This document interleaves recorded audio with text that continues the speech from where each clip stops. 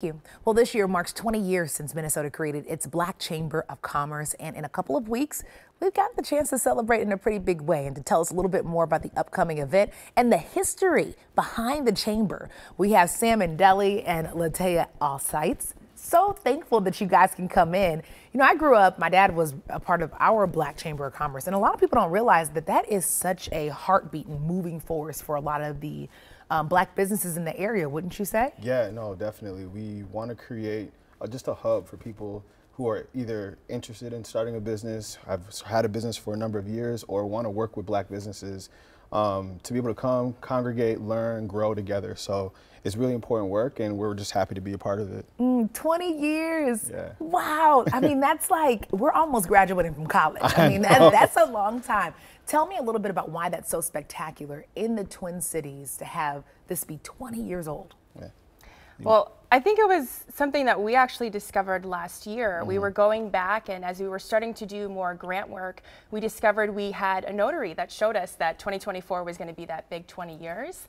And our chamber really started to rebuild in 2020. So to learn we did have a long history was exciting for us.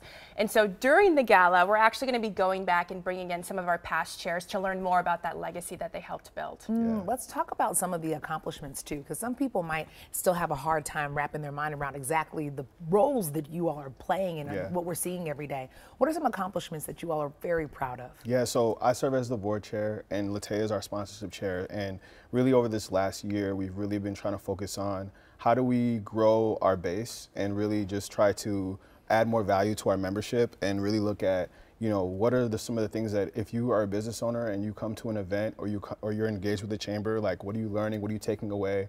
What connections are you making? Who's in the room? Things like that.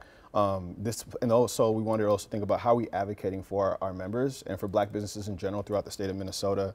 And we were able to do some um, policy work at the Capitol um, and get an, appropriation from the state of Minnesota, which mm. we're really proud of for a million dollars to do some programming to expand our work throughout the entire state. Because really, as a, as a chamber over the first 20 years, we've only had the capacity to focus on the metro. We really want to be able to go to the Rochesters, Duluth, St. Clouds, because we know there's black businesses there.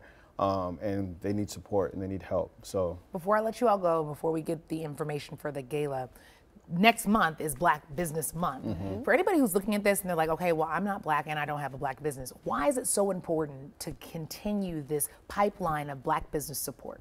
Yeah, I, would say that it's important because ultimately these are small businesses. A lot of times, a lot of majority, a lot of black businesses are solopreneurs or have one employee, and um, any kind of exposure, help, in, in building, helping to build that generational wealth within these communities is really important.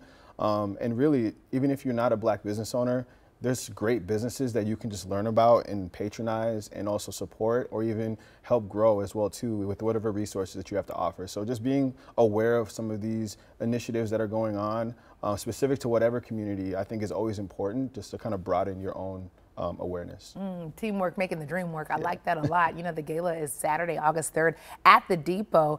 We have all the information for you at kare11.com. Thank you so much.